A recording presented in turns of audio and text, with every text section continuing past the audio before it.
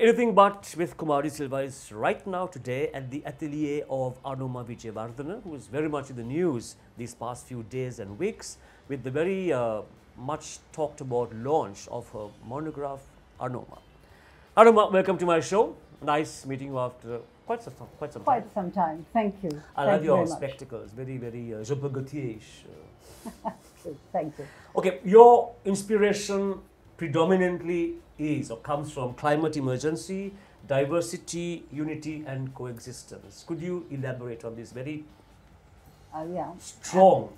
Um, it's, it's happened very naturally because my father was very interested in these issues even 30 years ago. In fact, 30 years ago, he talked about uh, trees being vital to our survival. Now, in 2019, they're Oh talking God, about yes. that being the key thing to help climate uh, emergency. But I've been working on my first exhibition on that was in 2005 in Sydney called Space. And so it's just been something that has interested me or worried me actually. It's my anxiety of the state of the world. And of course, even though I showed uh, these same topics in 2012, 2016, um, in, in, in the Maldives, which is one of the front frontiers, front line of destruction for climate change, it will disappear. Disappear. Um, so that was in 2010. I don't think t- people took too much notice, and that has been difficult. But there you are. Now people are. But you know, my last exhibition on the issue was in 2016. The first was 2005. so how? so that's sorry. one issue. So how has the response been from the audiences? The sensitive and the insensitive and the I don't care audiences. You get three. Uh, well, because I did uh, stuff that was interactive, which was on um, the in the Dutch hospital. We had huge boards in Sinhala, Tamil, and English, and boards on which people could also write their thoughts on climate change. There were in every language, in Russian, in Japanese, uh, comments on these issues, on this issue. But there were also, I thought, I was shocked in 2012 that someone said, "Why should I do anything for the earth? What's it done for me?" oh my God. So you have that attitude, but on the whole, you people were concerned. And of course, as we now know with Greta Thunberg, children, children, because you know it's their future. I will be gone. exactly. Yeah, You left. and sorry. yeah, and then the work on on um, peace and reconciliation and coexistence really started with uh, an exhibition I did in 2002 in Delhi. Uh, it was a solo uh, on Islam and Buddhism. 2002. Yeah, yeah, and then very What did you do there? uh, they were just actually just very simple paintings uh, looking at the beauty of, of Islam and the beauty of, of Buddhism from our country, if you like. It was very concentrated on Sri Lanka, but also on Central Asia and Islamic, you know, Islamic art and Islam, Buddhist art. So just juxtaposing the two. You left Sri Lanka when you were 16 years old. India Mm-hmm. studies there, and then you went to the UK. You came back when, you were 45 years. Mhm. That was, Mhm. okay. Now, Central St Martin's is your alma mater. Yes. What was that experience like there?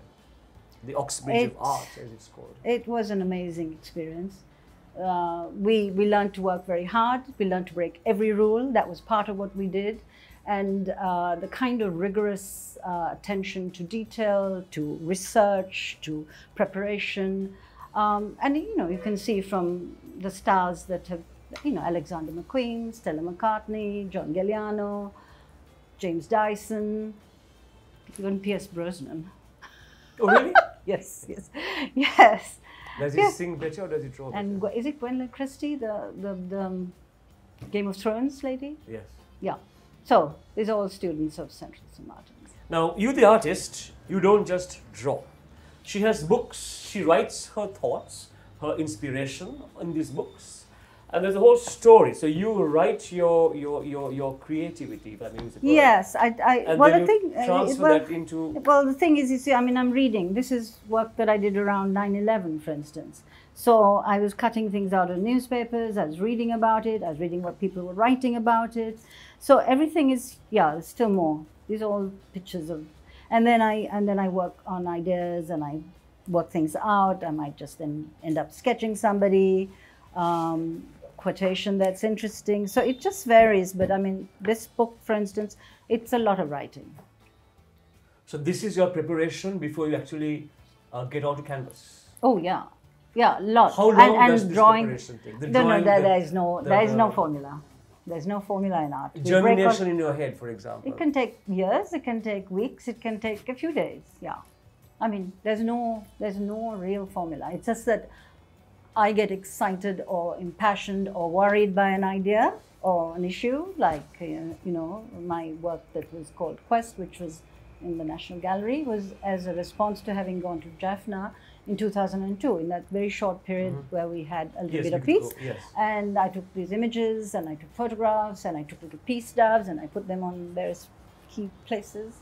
And uh, when I came back, I really felt that I couldn't paint it, that I had to use it digitally to actually use these amazingly powerful, painful images. Why could you not paint? I, I no, I could not. It was not. A, no, it Or wasn't a block because I had these images that were so strong that I really wanted to keep close to that, and so I actually okay. digital. I I did.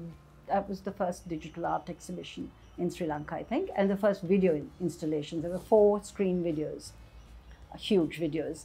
Uh, so I combined that with words about peace from Mandela, King, uh, Neelan, you know, a whole mix, young people, old people, long gone people, you know, Confucius, whomever. So, um, but I felt I wanted to keep as close as possible to the raw images, you know, because once you paint, you, you know, it's a different interpretation, and I wanted to be closer to the actual. But actually, I don't like working with straight photos, and I was very intrigued by digital art at the time. It was 2006, it was some early days. What about periods of drought? yeah terrible terrible terrible i as as a writer you must know that you know It's- we all have them. and you really do believe i'll never do it again. And and actually when i'm actually not painting i'm not i'm also not very nice. Well i'm not probably very nice anyway but i'm even worse. But are, are you an eccentric old lady? If I may very apologetically use the Uh, phrase. I, i'm definitely eccentric. I don't know if i'm old It's a number, it's a number. but I'm i've a- always I'm a I've- very far away from no no no i just uh, of course i'm old That was Um, planned, that yeah. was pre-planned, by Yeah, the yeah, way. yeah, I'm not insulting her, please note. yeah, you might get into trouble for that. Um, eccentric, I think I've been called eccentric always. What does eccentric mean? It means you're not concentric. So, yes, I am not uh, from the middle, I'm from the edges. Yes. To quote her, it's a long, tortuous journey towards perfection. In the journey of pain, anxiety, and transcendence, I come alive. So you need to be pained to come alive.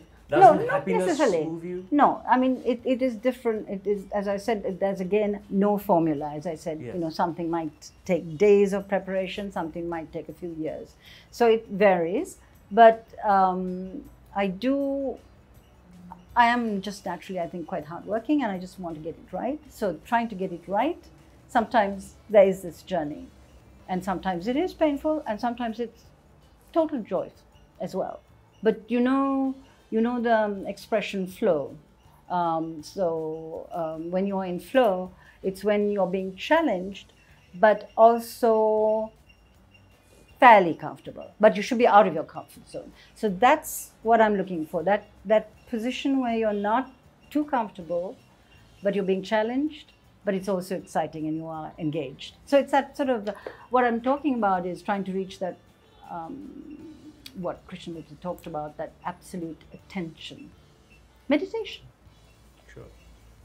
that perfect moment. But you know, you are struggling for that. It doesn't always come. It slips in and out, and there are moments when you feel you're like dancing, and I, I'm.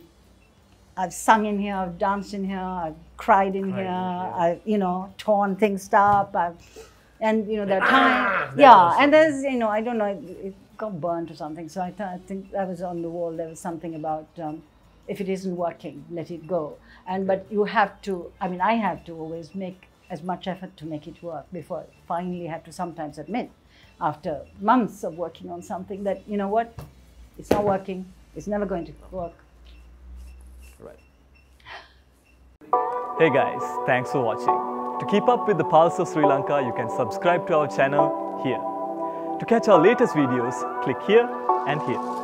Keep living.